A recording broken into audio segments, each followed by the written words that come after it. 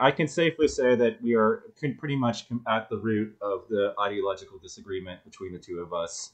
You know, it has now emerged exactly why I would rather die than be friends with somebody like Guerrilla Warfare X.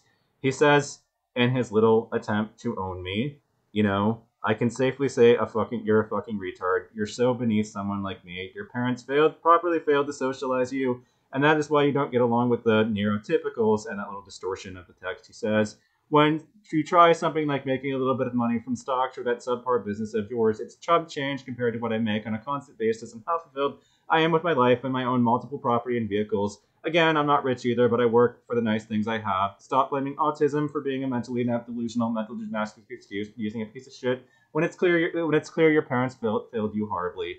Um, no, actually, um, you say this. Um, you say this uh, it is as a form of abuse too. You say that. Um, let me see. Let's let's look for it to peel it out of your paragraph. You have. Uh,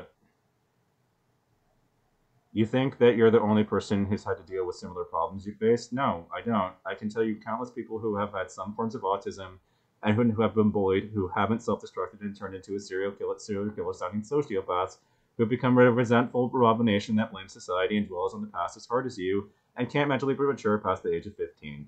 That's what he says. And then he says, grow up, Paul. Period. And that's how he wants to end this little fucking debate.